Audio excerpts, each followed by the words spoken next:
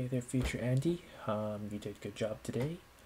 Uh, I'm really tired. It's 4 a.m. Um, you finished most of the UDP sockets for the robot. I would demo it right now just to flex on, you know, to show you how smart you are with programming, but uh, today is I'm just too tired. I'll have to skip that.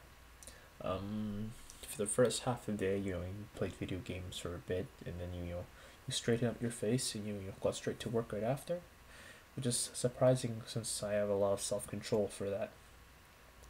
Aside from that, you tutored for an hour today, made 20 bucks, the usual. And then aside from tutoring, um, yeah, you have a you have a long day tomorrow ahead of you. I think I have to wake up at like I need to double check the Cambly.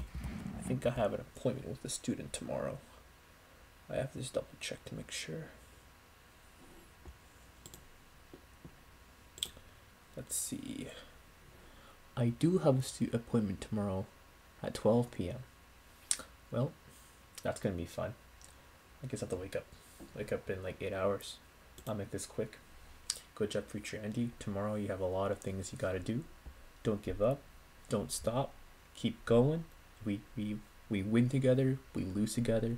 We slay together. Slay together. Yeah, my favorite quote from uh, one of the coaches in uh, TI eight eighteen, said, "Yeah, it's great. Great motivational gamer."